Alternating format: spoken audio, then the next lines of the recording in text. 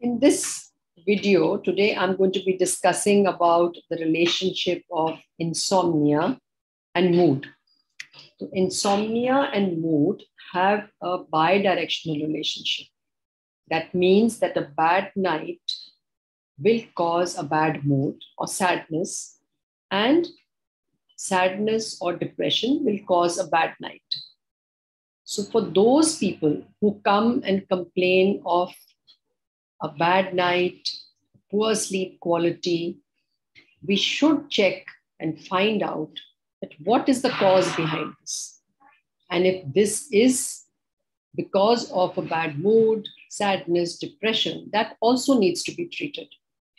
And the example which will be followed will be with the patient who has come with the problems of a poor sleep, but did have underlying depression. And when we treat the depression, the sleep gets better and the day also gets better. So I'm Dr. Manvir Bhatia, a senior neurologist and a sleep specialist. And I do hope that this will be helpful for all those who are having a poor sleep, that we determine the cause and not only take um, over the counter or just take sleeping pills. मैं पिछले आठ दस महीनों से नींद नहीं आने के कारण काफ़ी परेशान थी। नींद नहीं आने से मुझमें काफ़ी चिड़चिड़ापन, डिप्रेशन कॉन्फिडेंस का ना होना ऐसा हो गया था। फिर मेरी बेटी ने मुझे डॉक्टर मनवीर के बारे में बताया।